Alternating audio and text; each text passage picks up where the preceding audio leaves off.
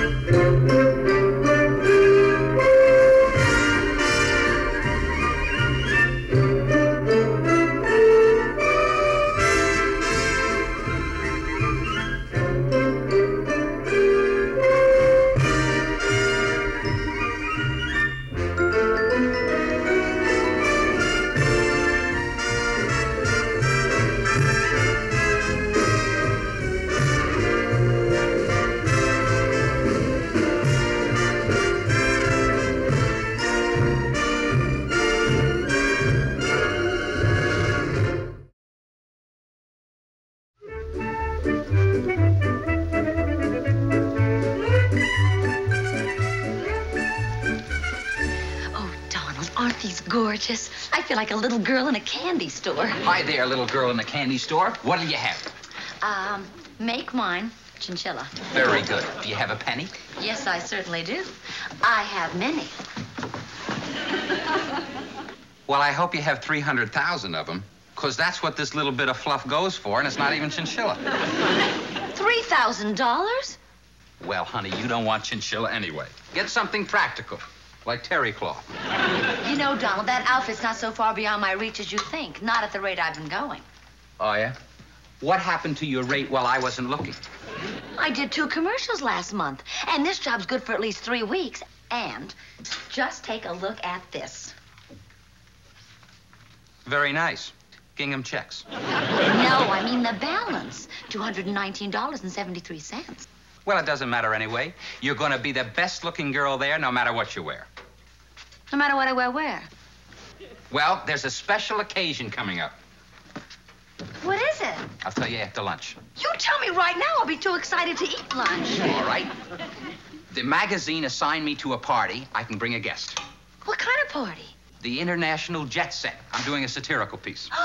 Oh, Donald, who's going to be there? I told you, I'm going to be there. I mean that I can get excited about. Now, just a minute. You know what I mean. Who, who? Well, They're going to be, uh, they're going to be a lot of rich people, all shapes and sizes. Tall rich people, short rich people, thin rich people, Donald. and a fat king. Did You get excited over a fat king? What country? I don't know, somewhere. What's the party going to be? At the presidential suite at the Brimsley Plaza. Now, that's exciting. Oh, I don't have anything to wear. Oh, now, honey, now don't worry about that. Now, don't say I'd look marvelous no matter what I'd wear. I won't. I was just going to say, if you have nothing to wear, I'll take Jerry Bauman rather than be embarrassed. It's a very bad joke. That's the best I can do on an empty stomach. All right, let's go. But you should have told me after lunch. I'm going to be too excited to eat. Miss Marie, Miss Marie, that buyer from Kansas City bought the cape and the stole and everything else you modeled. Oh, I'm so glad, Mr. Mellinger. I'm tickled to death. Uh, personally, I think he would buy anything you put on. It's a shame you're not 12 feet tall. I could sell him the drapes. That's very nice of you to say, Mr. Mellinger. Don't mention it. Since everything has gone so well, do you think I could leave a little early today? You see, I've been invited to a party tonight in the presidential suite at the Brinsley Plaza Hotel. And I just got to go out and get something to wear. Oh, an occasion like this calls for something elegant and understated. You're not kidding. I can't even afford a whisper. You may borrow this chinchilla. Oh, Mr. Mellinger. You're not serious. You don't think lending somebody a $3,000 stole his money? funny? What if anything ever happened to it? I mean, I'd be terrified. Eh, don't worry your pretty little head. I'm insured. Oh, Mr. Mellinger, This is so generous of you. I don't know what to say. If a piece of royalty happens to ask you where you got it, you make a curtsy and say the address. Okay? Well, of course. That's the least I can do. As a matter of fact, if I ever have to take it off, I'll carry it so that the label shows. Better yet, I'll wear it inside out.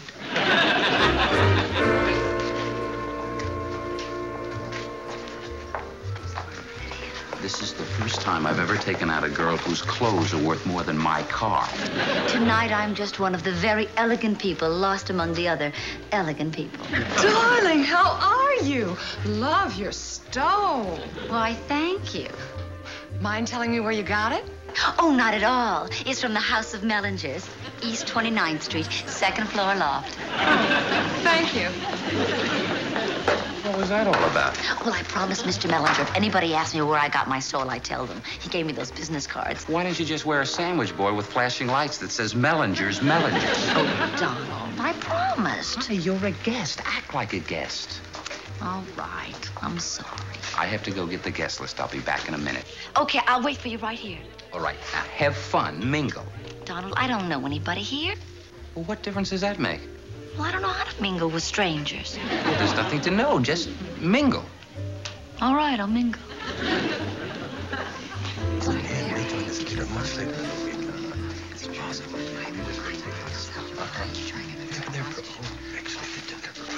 Mingle, mingle. Mingle, mingle, mingle, mingle. Mingle, mingle.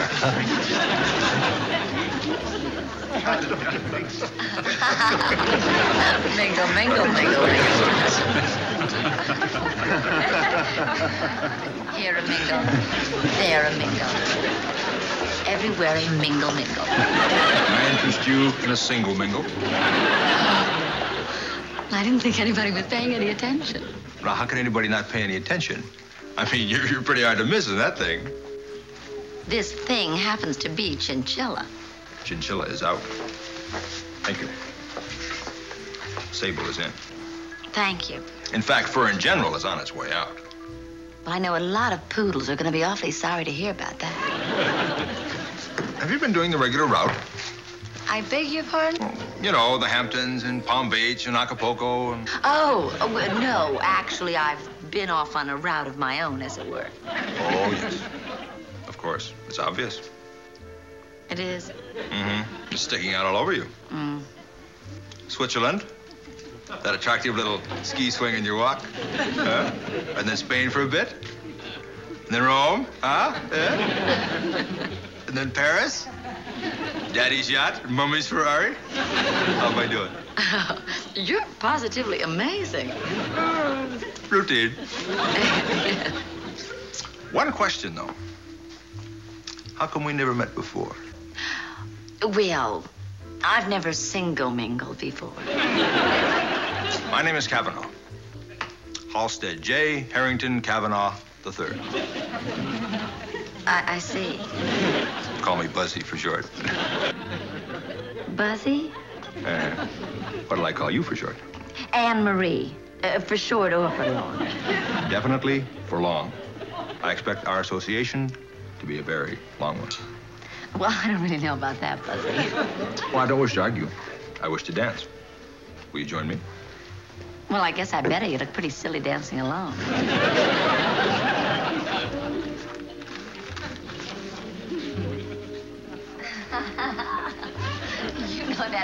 That's very true.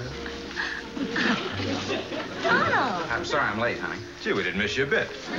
Donald, this is Mr. Halstead J. Harrington Kavanaugh, the third. This is Donald Hollinger. How do you How do? do? Nice do to you meet you. Buzzy and I were uh, mingling, Donald. A, a buzzy? Oh, that's what everybody calls Mr. Kavanaugh. Oh, I, I see. Of course. How would you like a punch in the nose? Oh, Mr. No, no offense intended, Mr. Kavanaugh. Call me Buzzy. Uh, Sure you wouldn't mind? Not at all. Okay, no offense intended, Buzzy. Apology accepted. Fine. Honey, we have to be going. Oh, yes. Well, it certainly was a pleasure meeting you. Even more pleasurable for me. Thank Good night, you. Buzzy. Hollinger? Good night. Good night, Ann. Lunch tomorrow. Lunch tomorrow? Shall we say 1.30? Oh, well, well, no, I'm, I'm afraid not. How's 2.30? Well, well, no, you see, Donald and I, Aren't married. No, no, we're not married. Engaged. Uh, no, no, not what you might call officially engaged, no. Well, then. Uh, look, Buzzy, I-, I don't feel it's particularly necessary for us to qualify our relationship for you. You're absolutely right. I was simply trying to determine if it was proper for me to ask Ann to lunch. See, Donald, that's all he was trying to do. Yes, I see. Of course I see. Well, then, Well, then, I'm afraid not. You see, I have several previous engagements tomorrow. how about the day after? The, the day after? Well, actually, I don't have my book with me, and I'm just a scatterbrain about times and places. Aren't I, Donald? Just a scatterbrain about that kind of. Uh, yes, you are just a regular little scatterbrain. Why don't I ring you then? Ring me? Ring you. Why don't I?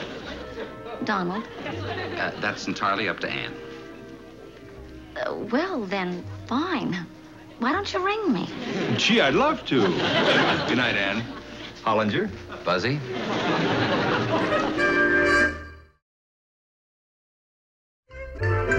All I'm saying is you weren't a great deal of help. It's entirely up to Ann. It's entirely up to Ann means it's entirely up to you to say no. Well, how can I say no? You can say no thank you, or thank you no, or no no a thousand times no. Oh, Donald, I felt silly making such a big issue out of just a phone call, for heaven's sakes. Besides, I didn't want to embarrass you. How would you figure it would embarrass me? Well, apparently, I mingled so well, he thought I was a member of the group. And one member of the group can't be rude to another member of the group. What group? The group, the crowd, the gang, you know. Switzerland, Spain for a bit, Rome, you know. You, one of the jet set? That's what he thought. You're kidding. I am not kidding. It's just that you never noticed that attractive little ski swing in my hips, did you? Uh, frankly, it never brought skiing to mind.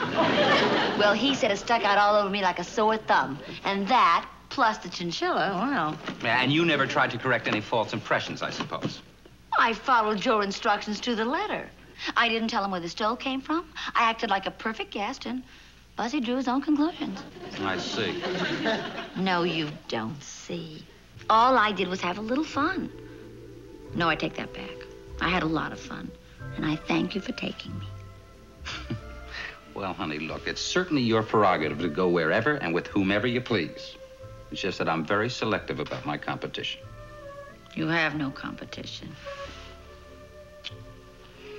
Men like Halstead, Jay, Harrington Kavanaugh III never give up. How do you know? He's the third, isn't he? Well, rest assured that in no time at all he'll be totally disillusioned When? When he finds out that I'm not listed in the social register and that that attractive little ski swing is merely my way of compensating for an old football injury.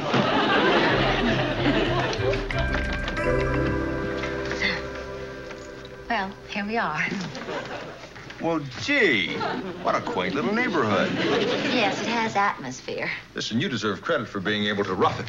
You didn't say whether to wait. No, no, don't wait. 290. Listen, why don't you get changed and we'll go slumming around the neighborhood? Huh? Now, Buzzy, when you said it was urgent for me to have lunch with you, I agreed, providing you brought me right home and we said goodbye. Remember? Uh, yes, I vaguely remember something to that effect. And it really wasn't urgent at all. Well, now wait. That depends on your point of view. 290? Thank you very much, Buzzy.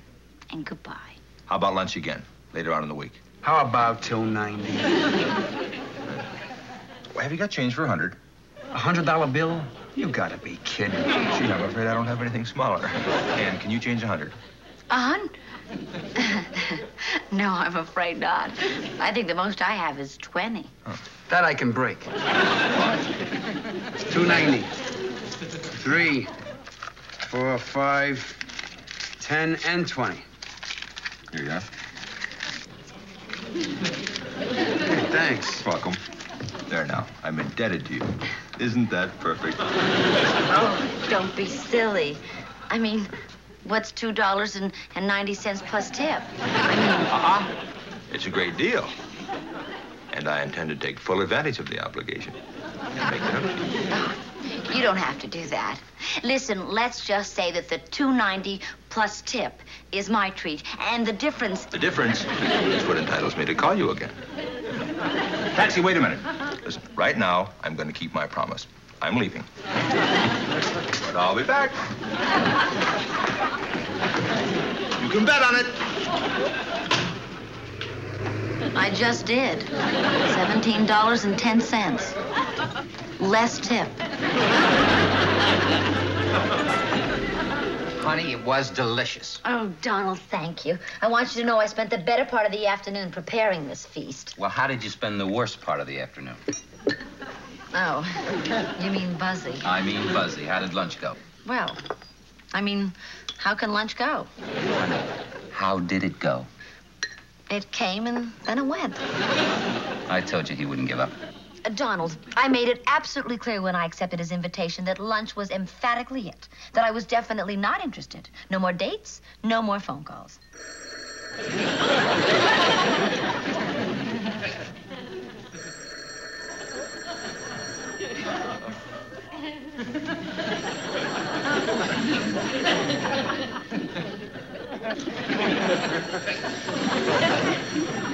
Aren't you going to answer? Answer what? Your phone is ringing. Oh, my answering service will pick it up. You know, I'm getting so used to them just taking all of my calls that I hardly even hear the ring anymore.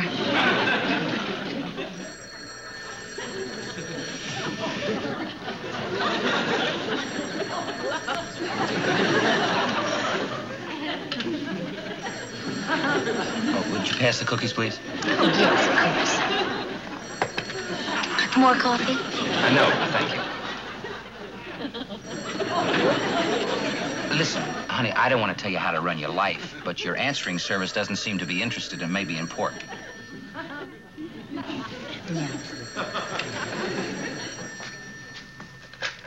Hello? Oh. Hi there. How are you? Oh, yes. Just fine, thank you. Oh, no, I'm sorry, I couldn't. Uh, no, thank you. Thank you, no. No, no, a thousand times no. Uh, no, I'm, I'm sorry I couldn't. Well, I don't even know how you can suggest it after your promise. I don't know how I could have any faith in a second promise when you've so totally and completely broken the first one. Absolutely not. No, I'm busy tonight. I'm busy in the morning, too. No, I'm, I'm busy in the afternoon. Ring me? No, really. No, I just. Well, yes, but. All right, fine. Yes. Goodbye.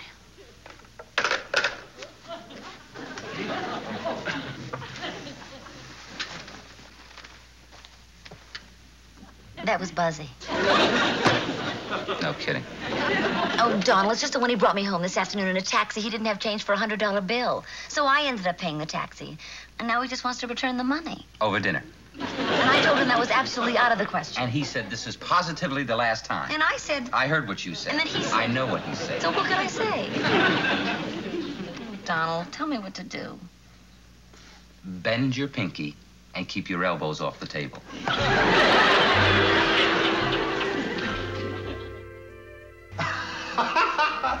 Oh, anyway, there's Dinky Van Epps. She's looking all over the ship for us. She's looking in, in the pantry. She looked in the kitchen. And there we are in the bilge of the Queen Mary. and you're not having a good time, are you? Oh, Buzzy, I wouldn't say that exactly. I would. Exactly. In fact, if I had any sense, I'd take you right home immediately. In fact, that's precisely what I think I'm going to do. Waiter, Oh, wait a minute. There's no rush. Why don't you finish your coffee? love for another man has insulated you against the Kavanaugh wit and charm. And I refuse to subject my ego to any more bruising. Thank you. Do you have an account here? Me? No. Any mad money? How mad? $68.43. No, I don't think I could get that angry. Don't you have any money? Nothing to speak of. I'll probably come into a few blue chips when my grandfather goes. But what about in the meantime? Like tonight? What about the check? Oh, well, I never come here alone. I can't afford it. You mean you expect me to pay that check? Well, I honestly didn't think you'd mind. But, but, but Buzzy, I don't have any money. Well, don't get upset. I'll take your check. I'll vouch for you. You don't understand. I don't have any money. Period. Look, Ann, if this is your idea of a joke, now I find the whole thing in rather poor taste. A girl can be temporarily out of funds or, or written out of the will or, you know, for the moment to have her allowance cut off. But she never has no money, period. There must be some money in your family somewhere. No, I'm afraid not. My father doesn't have any money, and I don't have any money, and no one I know has any money except you, and you've got my $17.10. Are you telling me, do you actually need that money? I'm telling you, I have to pay my rent. But you told me you were rich. You told me I was rich. Besides, I thought you were rich, too. Me? What? I didn't show up at Randolph Cleach's party wearing a chinchilla stole. I just borrowed it. Oh. I can't tell you how embarrassed I am. I mean, I'm not the sort of fellow that would take money from a working girl. You took money from this working girl. Only because I was under the wrong impression. Look, before I do a thing like that, why, I'd borrow money from a bank. Gee, I'm terribly sorry. I mean, if there's anything I can ever do to make it up to you. No, no, no, and it wasn't your fault. I mean, you had no way of knowing or understanding. Understanding what? Oh, the only reason I took the money from you, because I really liked you.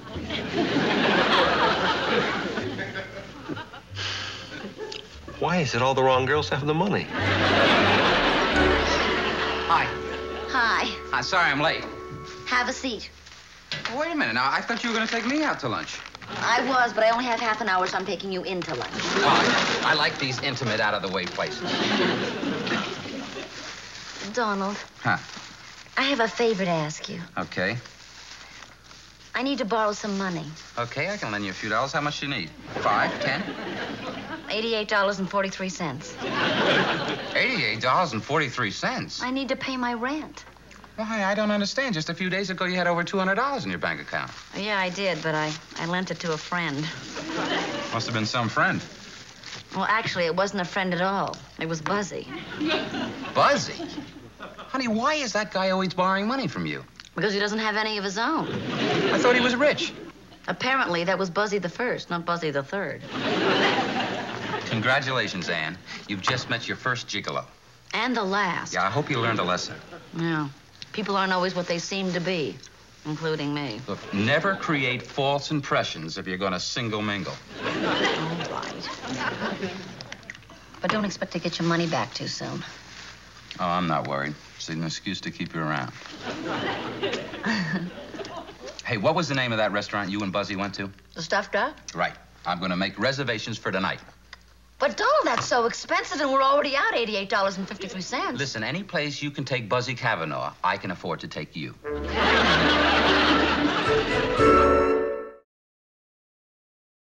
right, thank you, thank you. Uh, honey, it'll be a few minutes wait. Oh, that's okay. Oh, Donald.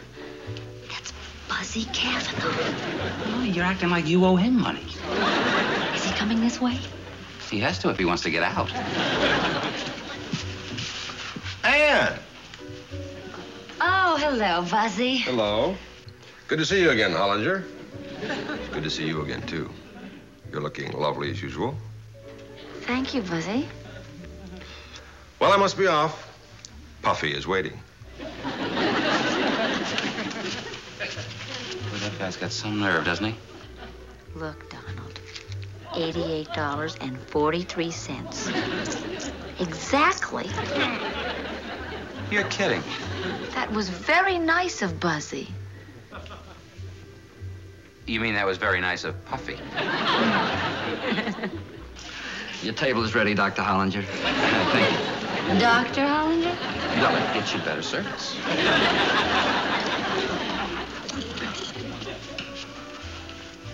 Never create false impressions, Donald. This is dinner, not single mingle. Mm-hmm. Well, what happens if a pregnant lady at the next table suddenly goes into labor?